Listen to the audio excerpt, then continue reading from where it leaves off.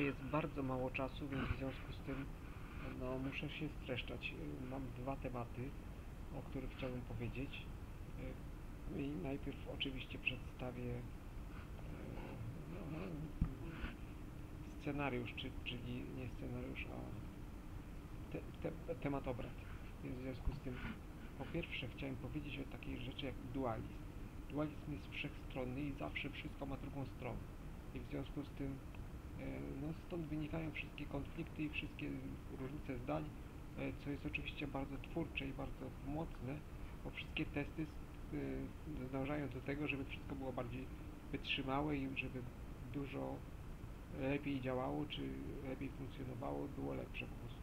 Ludzkie dzieła takie są, że zawsze wynikają z dualizmu, czyli z, ze sprzeczności poglądów, ze sprzeczności właściwości, e, testy na twardość, te- testy na elastyczność, te- testy na na rozciąganie, zawsze testy. I w związku z tym wszyscy jesteśmy testerami, no tylko tyle, że zawsze mamy dwa różne zdania.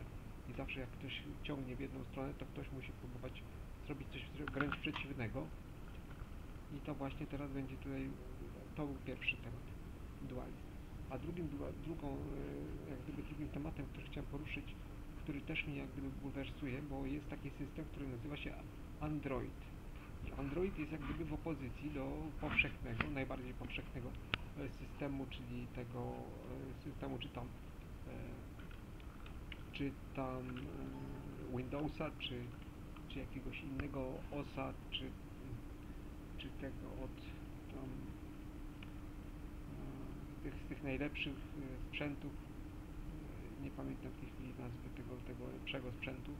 W każdym razie Android jest znowu w opozycji pewnej, czyli przedstawia inne rozwiązania i w związku z tym na przykład wiele aplikacji na Androida mam takich bardzo atrakcyjnych, bardzo wesołych zabaweczek takich, czyli jakiś tam teddy bear, czy gadający miś, czy, e, czy mm, zegarek od e, Wake Up Girls, e, taki zegarek, który przypomina o godzinie, dziewczyna pokazuje twarz i, i mówi o, o tym, która jest godzina i kiedy alarm, no tylko tyle, że te aplikacje Androida mają taką właściwość, że nie potrafi ich obrócić w drugą stronę.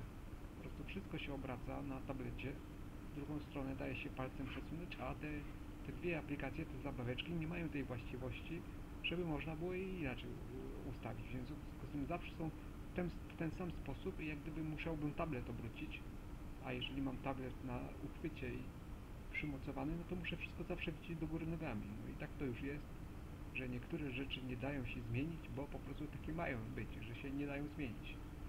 I to najczęściej są dzieci, które się bawią tymi zabaweczkami. Nie dają się zmienić i już. Pozdrawiam, tam zapraszam, dziękuję, przepraszam, proszę o łapki, nie, bez łapek, bez łapek. Tylko bez łapek. Gdzie te łapki?